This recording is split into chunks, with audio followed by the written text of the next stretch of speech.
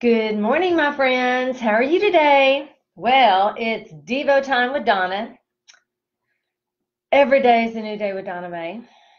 And today, as we have been doing in our devotional time, we're going through Jesus Calling, which I have renamed to Jesus Answers. And today's devotional is kind of interesting, honestly. I'm going to uh, it's made me pause, it's made me think about some things, it's made me wonder, huh, what do I really think about making friends with your problems? Let's read on. Make friends with the problems in your life. Well, there is a scripture that talks about agreeing with your adversary. Hmm. Hmm. Could our problems be our adversaries? Or, or, or, or, or, are they an avenue to strengthening us so that we can conquer, even though we know God has already conquered, so that we can see that we have conquered?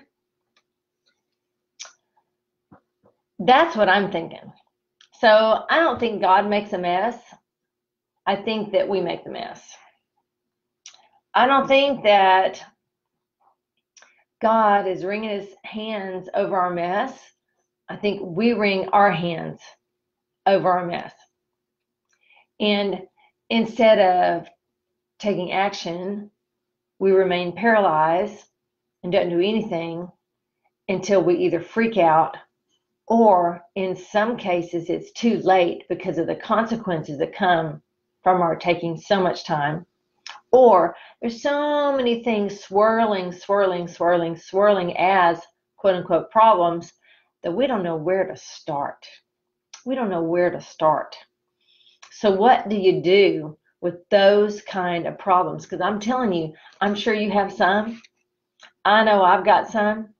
I know we can have a lot of things happening in our personal lives, in the lives of those we love, in our families' lives, in the lives of uh, church people, in the lives of people in the nation, in our cities.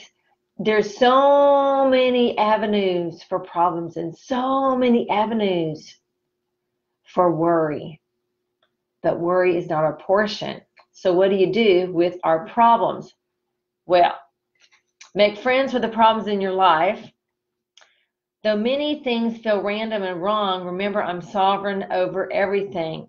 Yes, God is sovereign over everything.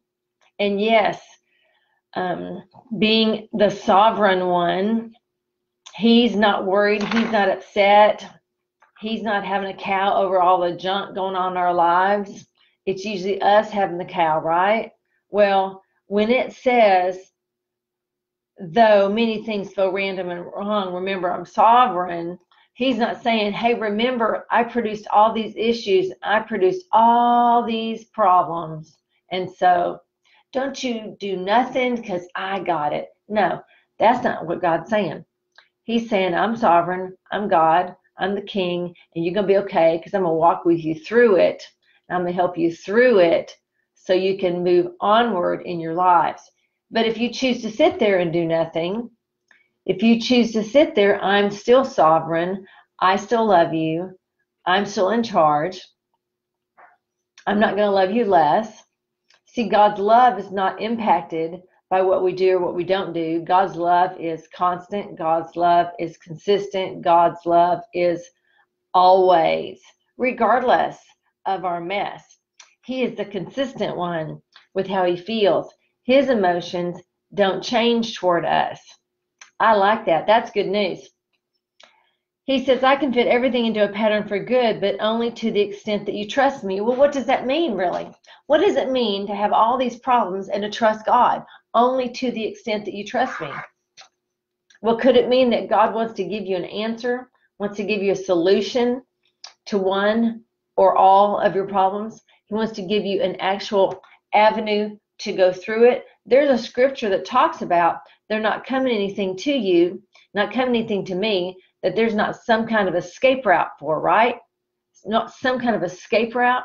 So he'll either give us a strategy and a solution for escape an escape route, or He'll give us a strategy and a solution on how to walk through it so that we conquer it, so that it strengthens us instead of it overwhelming us and it causing us to be put underneath the truck. We get to choose, and if we can hear, trust what we hear, and walk it out with Him, we can show ourselves and the world that we are overcomers and that we are conquerors through the God who lives inside of us. Remember, Father, Son, and Holy Spirit, all three live inside.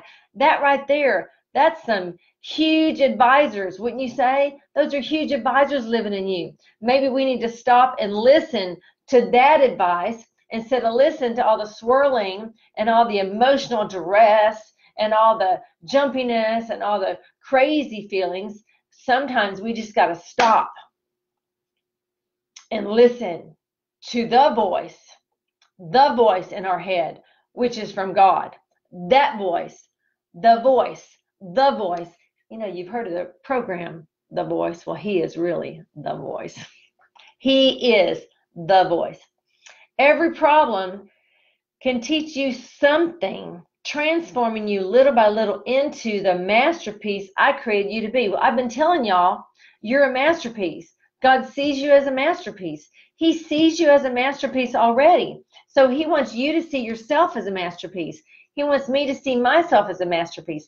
He wants us to see ourselves as those who have overcome and those who have conquered so that we are unafraid to conquer and unafraid to be consistent and unafraid to move forward. If we will see ourselves as people willing and able to move forward, we will move forward.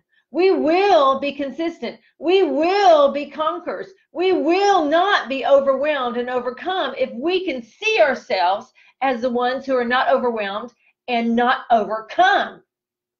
That's how, if we'll trust Him, that's how it works. That's how we'll walk through the problems. That's how He's sovereign.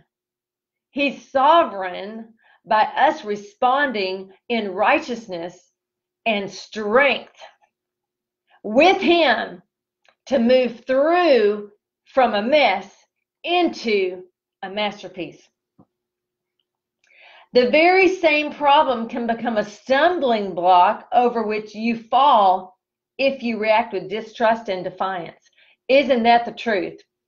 If you act silly, if you act stupid, if you do something that's totally unrighteous and just unkind and unwise, and that causes a strong defiance, and it's out of a place of distrust, it does not usually go well with either one of us, does it? That's not the voice of God. That's not the voice of the strong one. That's not the voice of the obedient one. That's not the voice of our Father when we react. And you know what? We do react. So we, we get to stop. We get to train ourselves not to react. We get to train ourselves to respond, to, to stop and take a breath. And take that person who rejected us, or we think they rejected us, take that person who rejected us and forgive them take that person who seemingly doesn't want to spend time with us and say, wait, wait, they just got stuff going on. It's not personal. It's not about me. And even in cases where there are is severe rejection, listen, I know from personal experience that it was not about me. It was not because there was something going on with me. It was really because that person was being pursued by the enemy and the enemy wanted to destroy them and if he if the enemy could destroy them through that kind of meanness and then that person turn that meanness on me and I be destroyed too, then the enemy wins. Then the enemy wins. The enemy wins. But if we can stop and we can respond instead of react. So you react out of distrust. You react out of emotions. You react out of a defiance, but you respond out of trust. You respond out of obedience. You respond out of love, knowing He loves you, even if you don't feel loved. and knowing that you're on the way to loving yourself because the one who loves you lives inside you. Because you are worthy of love. You are worthy of love. Do not let those other voices and those other thoughts and those other ideas slap you around any longer telling you you're not worthy of love because that's just a bald faced lie. That's why those voices say that, just so you will be convinced that that's what you are, that you are unloved. But it's not true. It wouldn't talk all the time if it were true. God's truth is simple. So today, I was listening to scripture early this morning, and I was listening to how Jesus um, was walking outside, and there was a man up in a tree, and he said he saw him. He said he saw him before, before he was ever up in the tree. He saw him. He saw him. And the Lord's just gentle voice inside me was like, Donna, I see you. I see you. See, when you feel like you're not seen, God sees you. When you feel like your family doesn't care, God sees you. When you feel like you're all alone and you don't know what you're going to do, God sees you. God sees you. You're not alone and you can know what to do because the one who lives inside of you can give you strategy and instruction and solutions while you're on the way to where you're going. The choice is up to you, and you will have to choose many times each day whether to trust me or obey me. Isn't that the truth? When we have things thrown at us left and right, you got to stop and decide Am I going to trust God or not? Let me tell you what distrust looks like. So I'm going to the Apple store today because my computer's messed up. I I don't know. There used to be a time when no virus could hit a, a Mac, but now I seem to got something going on that's not cool. So I'm going. Now, what if they say they can't help me? Now, I don't think they're going to do that because they're the Mac people and they're supposed to know how to do this. But let's say they say they can't help me, or they say I need to keep your computer for two weeks. I'm going to have to decide now, am I going to be unrighteous about that? Say, hell no, you need to get your act together and get my stuff together. No, I, I need to know ahead of time that all will be okay. Why? Because the sovereign one lives inside of me. How am I going to react? How am I going to respond to the forces and the thoughts and the ideas and the voices around me as well as inside me? I do get to choose. I do get to decide. And I can decide ahead of time. You can decide ahead of time. You can decide ahead of time how you're going to respond to specific situations. And you can respond ahead of time by deciding deep inside, you know what, I'm not to, I'm not to just be angry about those kind of things. I'm to stop and remember it's not personal. If you can do that, if you can do that, that will really help you in your journey. That will help you in your relationships. It'll help you if somebody is not being nice to you, if you can keep in mind that it's not about you, so you don't get so offended and so upset and so angry and so hurt that you end up just being volatile right back to them. And then you got this thing going on, and then everything gets ugly, the atmosphere gets ugly, the emotions get ugly, and the relationship gets ended because one person wasn't thinking with the righteousness of Christ. It's one thing when, when if both of you can, that's cool. But if at least one of you can, when the other one's losing their lid, that at least will stop things and bring things to a halt with regards to you being controlled. The word says, let a soft answer turn away wrath. A soft answer turn away wrath. That is one way where you are able to stop the thoughts and ideas and the voices that come after you on the inside of you and after you on the outside of you to try to control you. The best way to befriend your problems is to thank me for them. Well, that's interesting. It makes me think about Corrie ten Boom, who was in prison and she had all these fleas hopping around and apparently there were so many of them they were thick. And she began to thank god for the fleas and her sister was with her in the prison. She was thanking god for the fleas. Her sister thought she was crazy but you know what happened? When the military came to take them away and to go ahead and annihilate them, there were so many fleas, they backed away and they did not come in there and get them. They did not want to be anywhere near them. That Thanksgiving, that Thanksgiving kept Corrie ten Boom from worry. It kept her from agitation. It kept her from fear. And it allowed her to comfort her sister who did not understand why she could ever thank God for fleas. But after that, it was a living witness to her sister to thank God through everything, to thank God no matter what. This simple act opens your mind to the possibility of benefits flowing from your difficulties. A benefit flowing through your difficulties. Gosh, what, what can that look like? benefits that flow through our difficulties. I tell you what, I've had some difficulties. I've had some strong difficulties uh, working out some things, trying to figure out some things. And it has really given me opportunity. Uh, one of the things, the one of the benefits that it has given me is it's really driven me even to a, another place with God to hear Him, to listen to Him, to get instruction from Him, to know what He's saying through these difficulties because sometimes they can cause you to stumble. They can cause you to falter. They can cause you to want to fall down and say, That's it, I'm out. I don't want to do this anymore. But you can respond differently. You can stop and go, Wait, wait, wait. No, I'm going to be determined in the difficulty instead of overcome. And the benefit is that God can point you into a different direction on the inside of you so that it doesn't control you, but instead you're controlling your own environment. You're controlling your own attitude. And that itself, that alone will impact your environment. That will impact the people around you. When everybody else is going crazy and you've decided to stand to be thankful, it will cause people to wonder what is wrong with you. It'll cause people to wonder why you're at peace. And you'll get to tell them about the one who lives inside of you that gives you the P E A C E you're in instead of the P I E C E S that they are in. That is one of the benefits.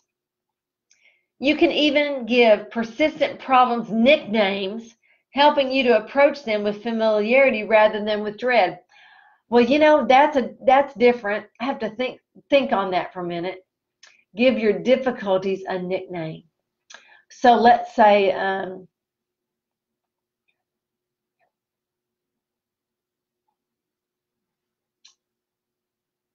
yeah, I don't know if I'm in agreement with that. I don't know if I want to give um, my problems nicknames, honestly, because I want to work through my problems quickly. I want to hear God so I can face them and I can move through them and not be overwhelmed and overcome. So I guess you could cause one of your problems overwhelmed. Well, there's overwhelmed again. There's depression again. There's distraught trying to hit me down again. As long as you don't talk to it in such a way that you want to remain friends. We don't want to remain friends with things that want to destroy us. Now, not every problem wants to destroy you at all. Problems are for us to find solutions. Problems are for us to find strategies. Problems are for over for us to be overcomers and conquerors in. So if you have a relationship problem, it causes you to really be concerned about another person or maybe you've been separated from something and you you want to be friends with somebody and you can't be then that's your opportunity to turn to the lord and let God be your friend. Let God be your filler. Let God fill that place and let God change that other person's heart. So that difficulty can turn into your way of connecting with God in a different way and in a stronger way than you have before. And watch Him walk out that problem with you so that instead of being lonely, you're filled up. Instead of feeling like you don't have any friends, God becomes your friend.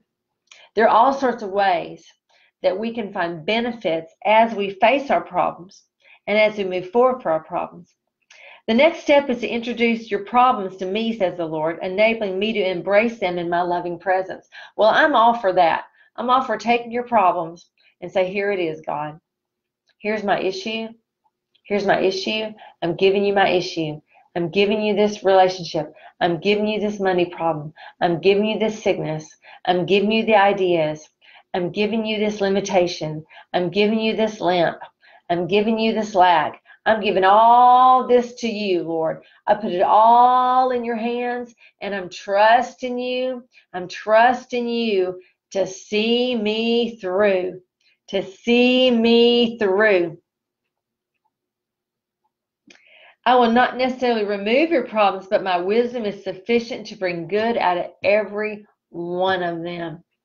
He doesn't always remove our problems. And sometimes I'm like, really, God? Again? Again? Again? Sometimes I walk away from that problem and I just don't visit it and I let it remain a problem.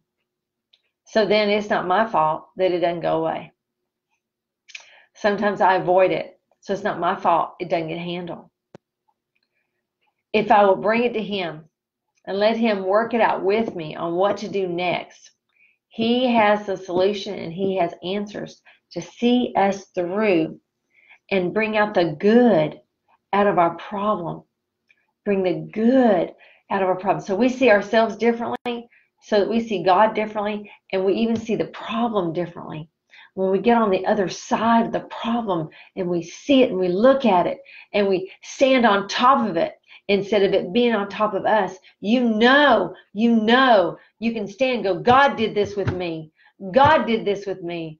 God did this through me. And you can say, I'm a conqueror. And listen, if you've got things you just have not been able to get on top of it, top of, that's okay. Tomorrow's another day. Today's another day. Take one little thing. If the big things overwhelm you, take a little thing. Take a little thing. Take a little thing. Don't take such a big thing that it's just going to totally put you underneath and you think you're never going to be able to get up again. Take a little thing and then take another little thing. Then take another until you got all these little things done that were one great big thing. Take one thing of a big thing. Take one bite out of the elephant until that elephant is eaten up and out of your house. I bless you today um, the scriptures today is Romans 8:28. We are sure to know that God, being a partner in their labor, and He's a partner with us in our labor, all things work together and are fitting into a plan for good for those who love God and are called according to His design and purpose. Well, you are definitely called according to His design and purpose, and your life is working out for good. 1 Corinthians 1 23 through 24. But we preach Christ crucified, a stumbling block to Jews and foolishness to Gentiles. But to those whom God has called, both Jews and Greeks, Christ the power of God and the wisdom of God. Listen, when you conquer even that one little thing, people take note. People see you've conquered. People see when you've been with God. People see that you're loving and why is this important? Because some of those people don't have any kind of belief in God whatsoever.